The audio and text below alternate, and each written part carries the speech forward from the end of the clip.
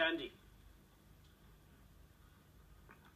Uh, can I say, firstly, thank you for that fantastic answer on tuition fees, because I've rarely heard a Liberal Democrat articulate quite so well uh, why we're in government. I think Doug would agree on this, that it's fantastic to hear that and explain that actually uh, fees haven't gone up, and if you can't understand that, perhaps you shouldn't be going to university, actually, that fees are there once you've graduated.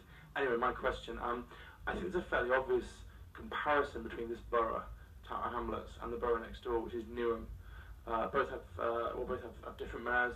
Uh, Labour own Power next next door, so Robin Wales. Mm.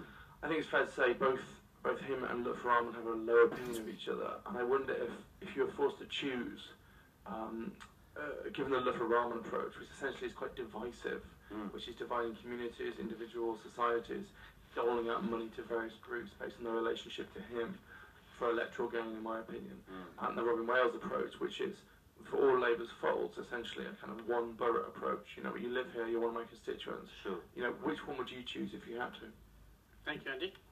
Thank you very much for thank you very much for your question, um, and um, and I'm glad you um, you you appreciated the difference between uh, uh, student fees and uh, and uh, perhaps a graduate tax in all but name.